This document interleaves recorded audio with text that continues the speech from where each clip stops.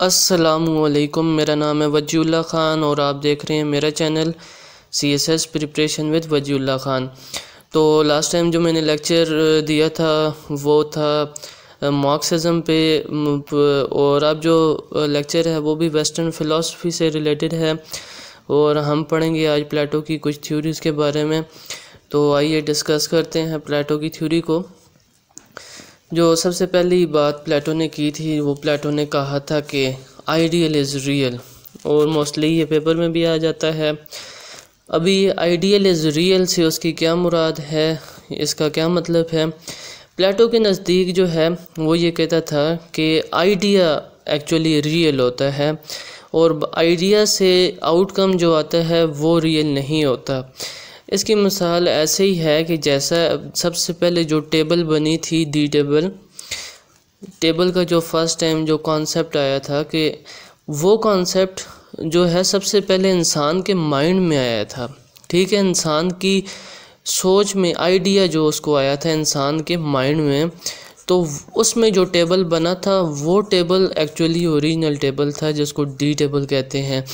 जो physically table जो आया वो तो एक्चुअली उस आइडिया का उस आइडिया की फ़ोटोकॉपी है ना मतलब उस आइडिया को ही कॉपी करके प्रैक्टिकल फॉर्म में लाया गया।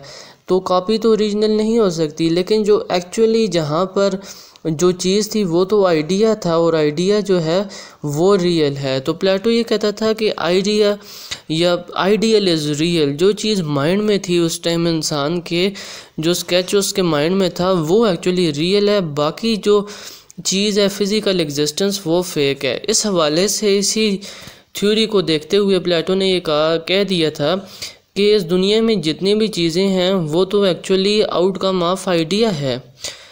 और जितनी भी चीज़ों का फ़िज़िकल एग्जिस्टेंस है, वो तो एक्चुअली आउटकम ऑफ़ आइडिया है। तो चुनाचा वो चीज़ें रियल नहीं हैं। वो चीज़ें तो कॉपी हैं, वो चीज़ें तो आइडिया की कॉपी हैं। बेसिकली जो इंसान का माइंड में आइडिया वो रियल है। तो उस हवाले से इसने ये कह दिया था कि ये जितनी भी चीज़ें इस दुनिया में एग्जिस्ट करती हैं, ये तो फेक हैं। एक्चुअली जो आइडिया है, वो तो एक और दुनिया में एग्जिस्ट करता है। तो इस इससे प्लेटो ने अपना कॉन्सेप्ट दे दिया था कि आइडियल इज़ रियल कि जो आइडिया होता है, वो रियल होता है। बाकी जितनी भी उसकी आउटकम आता है, वो तो उसकी कॉपी होती हैं, वो रियल नहीं होती। तो नेक्स्ट जो चीज़ इम्पोर्टेंट है, वो क्लासिफिकेशन ऑफ़ गवर्नमेंट है, जो प्लेटो ने की थी। उस हवाले से हम बात करते हैं। अभी प्लेटो ने जो है तीन किस्म की बेसिकली जो है क्लासिफिकेशन की थी। या हम इसको इन अदर टर्म सिक्स भी कह सकते हैं, लेकिन बेसिकली तीन ही थी। मोनोकी थी एरिस्टोक्रेसी थी मॉडरेट डेमोक्रेसी थी।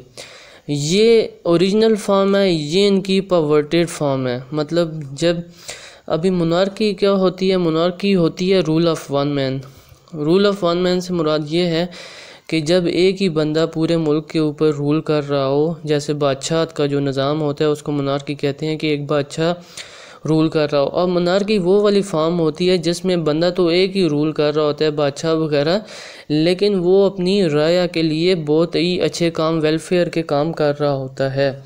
क्योंकि वो राया के लिए वेलफेयर के काम कर रहा होता है। तो वो बहुत ही इफ़ेक्टिव हो रहा साबित हो रहा होता है अपनी सब्जेक्ट के लिए, राय के लिए। तो वो मतलब अपने इंटरेस्ट के लिए काम नहीं कर रहा होता, उस टाइम वो लोगों के इंटरेस्ट के लिए काम कर रहा होता है। लेकिन फिर प्लेटो कहता है कि जब with the passage of time ये वाला बंदा करप्ट अगर हो जाता है तो उसकी जो परवर्टेड फॉर्म आती है, उसको हम टायरनी कहते हैं। टायरनी में ये बंदा जो होता है, वो करप्ट हो जाता है या इसका जो नेक्स्ट सक्सेसर आता है, जब वो करप्ट हो जाता है और लोगों के वेलफेयर की बजाय अपने इंटरेस्ट के लिए काम करना शुरू कर देता है तो उसकी जो टर्मिनोलॉजी है, वो मुनाकी से उसका नाम शिफ्ट हो जाता है टायरनी से। ठीक है टायरेंट कहते ही ालम को है तो उसको टायरनी कहते हैं। ये एक फॉर्म है, ये उसकी परवर्टेड फॉर्म है। दूसरी फॉर्म में वो कहता है कि वो है एरिस्टोक्रेसी एरिस्टोक्रेसी क्या होती है? एरिस्टोक्रेसी कहते हैं रूल ऑफ़ फ्यू इंटेलेक्चुअल्स कि जब कुछ थोड़े से मखसूस लोग, जिनके पास काफ़ी वेल्थ वगैरह होती है और वो बड़े ही समझदार लोग होते हैं, उनकी जो हुकूमत होती है उसको एरिस्टोक्रेसी कहते हैं।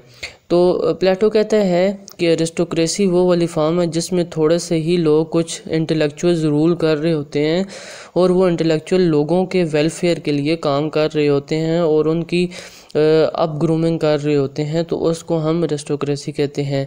लेकिन प्लेटो कहता है कि जब with the passage of time ये लोग अपने इंटरेस्ट के लिए काम करना शुरू कर देते हैं, अपने ही यही वाले लोग, या इनके जो नेक्स्ट आते हैं वो अपने ही काम, अपने इंटरेस्ट के लिए काम करना शुरू कर देते हैं तो इनकी रेस्टोक्रेसी कन्वर्ट हो जाती है ऑलिगॉर्की में। उसमें क्या होता है, यही वाले या इनके जो नेक्स्ट सक्सेसर आते हैं, वो करप्ट हो जाते हैं। वो अपने पर्पज़ के लिए काम करना शुरू कर देते हैं। तो एरिस्टोक्रेसी की प्रोवाइडेड फॉर्म अलीगौर की है। नेक्स्ट जो फॉर्म ऑफ़ गवर्नमेंट आती है, वो मॉडरेट डेमोक्रेसी है। इसमें रूल ऑफ़ मैनी मतलब बहुत से लोग जो हैं डिफरेंट रिच क्लास भी, इसमें मिडिल मिडिल क्लास भी होती है और रिच क्लास का मिक्सचर होता है। Sorry rich class poor class का और मिडिल क्लास का मिक्सचर होता है ये वाली।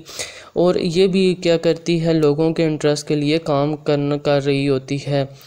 इसमें इसको मॉडरेट डेमोक्रेसी कहते हैं। लेकिन जब यही रूल ऑफ़ मैनी जो लोग काम कर रहे होते हैं, ये करप्ट हो जाते हैं और अपने मकसद के लिए काम करना शुरू कर देते हैं तो इसको कहते हैं एक्सट्रीम डेमोक्रेसी तो मॉडरेट डेमोक्रेसी की जो परवर्टेड फॉर्म होती है, वो एक्सट्रीम डेमोक्रेसी है। तो अगर आपको मेरा लेक्चर अच्छा लगा हो तो मेरा चैनल ज़रूर सब्सक्राइब कीजिएगा। आपका बहुत शुक्रिया।